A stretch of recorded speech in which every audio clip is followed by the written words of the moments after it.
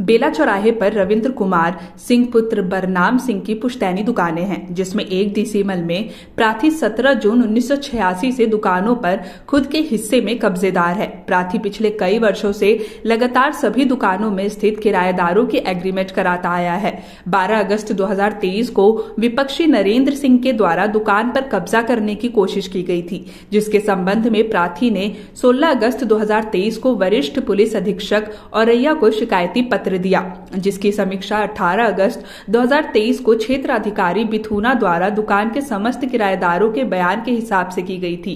उसके उपरांत यथावत स्थिति के निर्देश दिए गए थे। मामला सिविल जज जूनियर डिवीज़न बिथुना में है। 8 जून 2024 को विपक्षी नरेंद्र सिंह द्वारा पुनः फर्जी दस्तावेजों का सहारा लेकर पुलिस को गुमराह करके पुनः कब्जा करने की कोशिश की। नरेंद्र कुमार सिंह ने फर्जी रजिस्टर्ड किरायानामा विश्वनाथ सिंह के नाम किया है, जबकि वर्तमान में में उक्त दुकानों का किरायानामा शीलू सिंह के नाम से चला आ रहा है। बेला थाना सब इंस्पेक्टर ब्रजेश यादव द्वारा 9 जून शाम करीब 8 बजे वरिष्ठ नागरिक रविंद्र सिंह कुशवाहा को थाने में बुलाकर अभद्र भाषा का उपयोग करना व जबरिया नरेंद्र सिंह को हिस्सेदार बताना इनकी कानूनी व्यवस्था पे जाँच का विषय है। जब रविंद्र कुमार सिंह द्वारा दिए गए प्रार्थना पत्रों पे कार्रवाई नहीं हुई तो प्रार्थी ने 15 जुलाई को ऑनलाइन शिकायत दर्ज की, जिसमें थाने में कार्यरत दरोगा जी ब्रजेश कुमार जी ने थाने में बैठकर बिना जाँच पड़ताल किए विपक्षी नरेंद्र सिंह के प्रभाव में आकर कई तथ्यों को छिपाकर लिखा।